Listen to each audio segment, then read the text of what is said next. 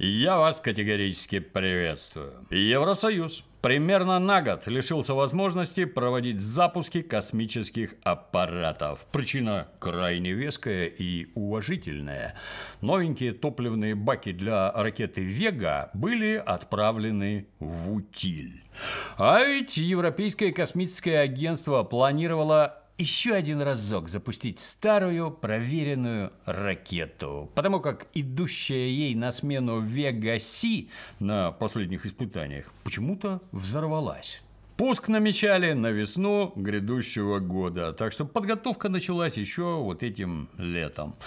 Но в конце осени выяснилось, что два из четырех топливных баков последней ступени с завода возле итальянского городишки Коллеферро куда-то пропали – Оба бака, как и все остальные важные компоненты ракеты, были оборудованы датчиками геолокации, поэтому найти их оказалось несложно. Нашлись баки на ближайшей свалке, причем в совершенно непотребном виде.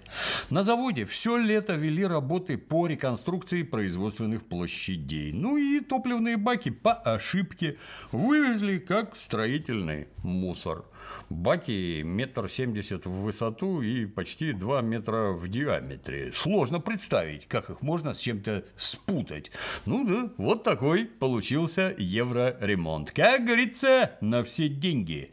Ну и как теперь запускать ценную ракету, вообще непонятно. В загашнике нашлась пара баков, произведенных еще в 2012 году, но использовать их через 12 лет несколько стрёмно. Есть вариант заморочиться и переделать баки с еще не прошедшей сертификацию Веги Си. Но это опять же время, деньги и непрогнозируемый результат.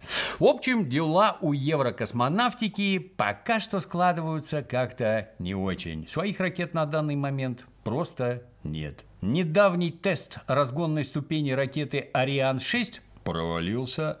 К испытаниям она будет готова только под конец 2024 года.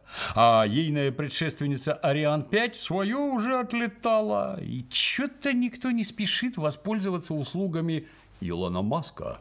Что странно, у него ведь все так здоровски организовано, а главное – недорого.